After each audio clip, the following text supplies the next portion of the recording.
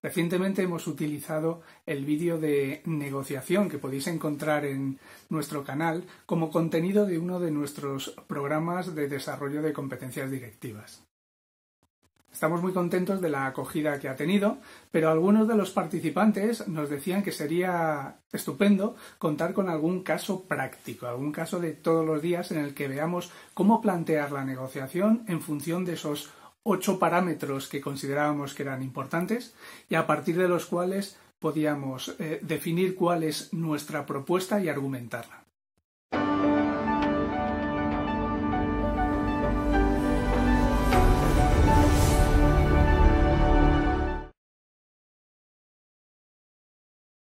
Así que no perdamos más tiempo. En concreto, hoy vamos a aplicar las enseñanzas de negociación que recogíamos en el otro vídeo para ver cómo podemos negociar un alquiler. Imaginaos que tenéis una casa que queréis alquilarla, algo por otra parte que parece ser que se está intentando promover entre las, entre las autoridades, entre la, administración tanto estatal como las comunidades autónomas. Bueno, y con esa casa eh, queremos alquilarla, nos hemos decidido a alquilarla, vamos a ver realmente cuáles son los aspectos que tenemos que tener en cuenta para hacer una buena negociación. Evidentemente no basta con poner un anuncio.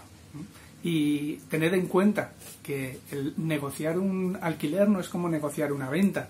En una venta es lo que se denomina una negociación de touch and go. ¿eh? Nos vamos a ver para vender la casa. Puede haber algunas cosas que son negociables, negociables, pero no muchas.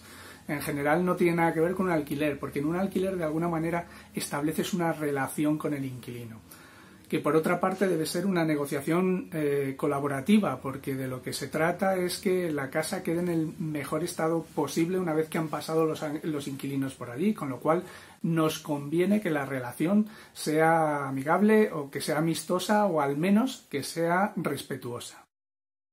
Estoy seguro de que vosotros, cuando alquiláis, pues establecéis un, un precio de acuerdo al, al, precio de mercado en función de cómo de reformada esté la casa, pues podéis utilizar un, precio de mercado un poco por arriba, un poco por abajo, pero ese, eso fácilmente, consultando en los diferentes websites que hay en Internet, lo vais a poder eh, establecer fácilmente.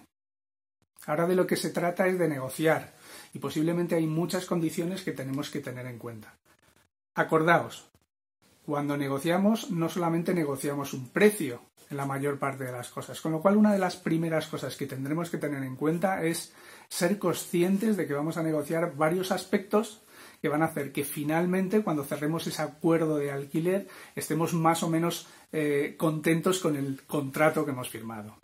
Efectivamente, vamos a negociar muchas más cosas que un, que un precio. Vamos a negociar, por ejemplo, la duración.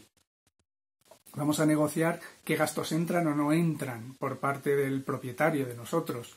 Vamos a negociar el mobiliario, qué mobiliario tenemos que dejar o no dejar, tenemos que negociar si hacemos alguna mejora antes de que entren los inquilinos o no. Negociamos el mantenimiento, negociamos la fianza, condiciones especiales como por ejemplo si pueden entrar o no pueden entrar animales de compañía, gastos municipales, el seguro de, pago o si incluso los inquilinos van a poder subarrendar parcialmente la vivienda.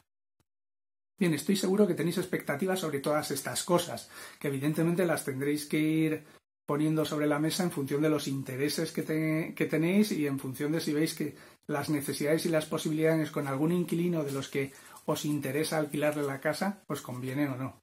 Bien, pues acordaos, es que mm, el objetivo debe estar en función de todos estos aspectos y también las condiciones. ¿Qué cosas son más importantes o menos importantes para vosotros? Y por supuesto, no se os olvide, si vais a negociar varios, tenéis que estar muy coordinados, porque si no podemos llegar a meter la pata fácilmente. Recordad que había un elemento dentro de la negociación muy importante que son los estándares, es decir, los, los usos del mercado, figuras de referencia que nos puedan dar eh, información sobre las características del contrato al que vamos a llegar. Evidentemente tenemos que recoger aquellos estándares que nos interesen, que puede ser desde el precio del mercado, el precio eh, de, de, los alquileres en la zona, las condiciones en las que se suele alquilar, etcétera. Todas aquellas cosas que consideramos que son usos o referencias normales del mercado y que nos pueden beneficiar. Y yo siempre recomiendo que las conversaciones con los posibles inquilinos sean abiertas, distendidas. Es la mejor manera de que podamos realmente conocer sus necesidades, de cuántos son en, la casa, si van a necesitar eh, colegios cercanos o no van a necesitar colegios cercanos, cuáles son los aspectos que le interesan y que podemos poner en valor. Si directamente lo único que hacemos es regatear, posiblemente estemos perdiendo oportunidades. Y claro, hay que hacer un cierto análisis de poder. Eh, ¿Cuál es nuestra situación frente a los posibles inquilinos? ¿Hay más o menos oferta de alquileres en la, en la zona que nos pueda dar mayor o menor eh, poder? Eh, ¿Tenemos más o menos prisa? Eso nos da también más o menos poder. ¿Cuál es su, cuál es su historial de alquiler de otros pisos? Si realmente andan eh, muy justos o, menos justos en cuanto a plazos, en cuanto a dinero. tendremos que observar si realmente podemos apretar un poco más o conviene por, eh, por seguridad, por cautela, siempre y cuando nos gusten los inquilinos, en que no apretemos demasiado. ¿no? Eh, solo así, a través de ese intercambio de conversación, podremos llegar a saber si realmente es un acuerdo que nos interesa o no. Y, por supuesto, meter más o menos prisa, porque acordaos que los tiempos, los plazos, es otra de las variables fundamentales en cualquier negociación. Podemos dejar pasar el tiempo si confiamos en que puedan aparecer nuevos inquilinos o que simplemente la dinámica del mercado de alquiler nos pueda favorecer. Por eso, y ese es el último de los aspectos que tenemos en cuenta, ¿cuál es el escenario? ¿Va a cambiar la ley de arrendamientos o no? ¿Va, va a subir o bajar el tipo de interés? ¿Puede hacer más o menos atractiva la compra en lugar del, del alquiler, van a construir eh, eh, viviendas de protección oficial cerca. Todos esos aspectos es lo que denominábamos en nuestro vídeo el escenario y también habría que tenerlo en cuenta.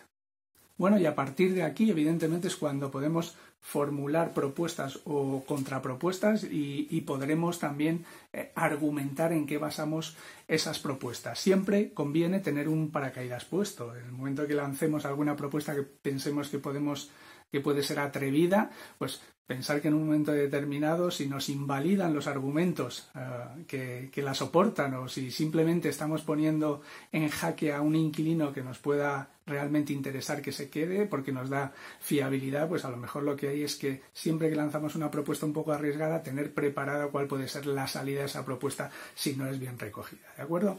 Como siempre, ya sabéis, Estamos aquí para ayudaros. Cualquier duda o consulta sobre este tema o algunos otros temas de nuestro canal ya sabéis dónde nos tenéis.